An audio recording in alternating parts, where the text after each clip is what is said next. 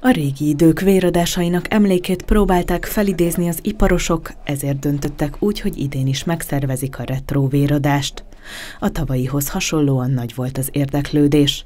Készfertőtlenítés és lázmérés után léphettek az épületbe a véradók. Az az első véradásunk a tavalyi évben indult azzal az apropóval, hogy hát nyár elején nagyon hát szükös a, a vérkészlet országosan, és az OVS felhívására, az Országos Vérlátó Szolgálat felhívására a civil szervezeteket megkeresve mi is betársultunk. Ezúttal is sok véradó látogatott el az iparos székházba, hogy segítsen másokon.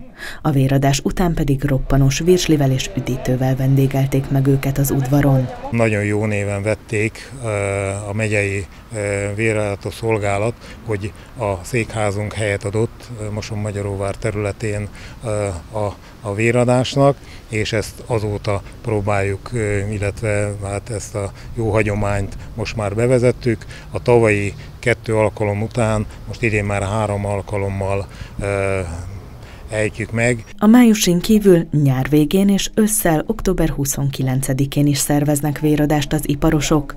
Az Országos Vérellátó Szolgálat honlapján arról tájékoztatott, hogy azok is adhatnak vért, akár már másnap, akik megkapták a koronavírus elleni védőoltást, amennyiben láz, tünet és panaszmentesek.